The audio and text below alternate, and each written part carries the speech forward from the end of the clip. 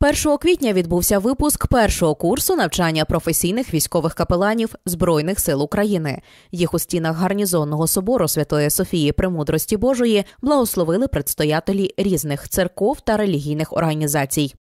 Оце вперше в новітніх реаліях,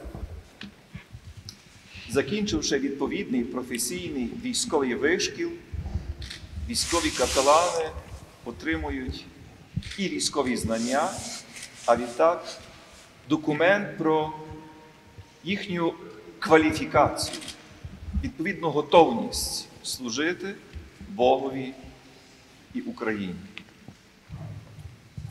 Цей історичний момент був ціллю, до якої ми йшли разом, як представники різних церков і наших релігійних організацій, так само і українське військо, українська держава.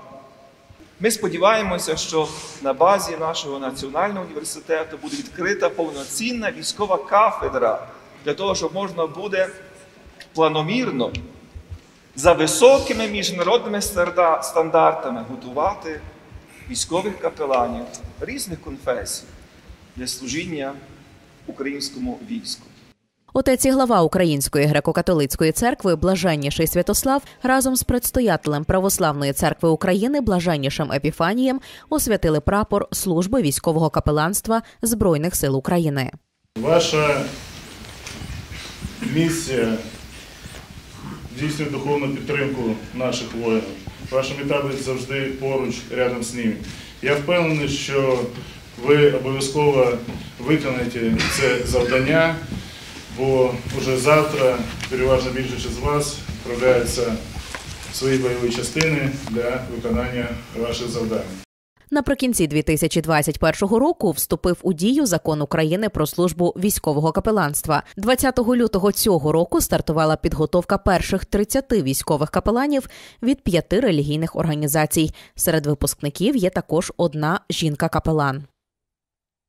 Це священники, душпастери, які також стали офіцерами Збройних сил України, пройшли шеститижневу підготовку яка включала і основи військової підготовки, і, скажімо, основи психології, також включала блок душпастерський, який охоплював, скажімо, всі ті аспекти душпастерського служіння, які, які потрібні для того, щоб професійно здійснювати свою місію. Під час вручення сертифікатів військові капелани отримали відповідну відзнаку до надрукованого знаку Бути поруч. Вона є символом професійності і успішного завершення курсів. Військовослужбовці в різних світах, в різних потребах. Всіх потреб не збагнути, але зрівноважити бійця, надихнути його, упевнити його одним словом, благословити, скріпити його в його цілеспрямованій дії.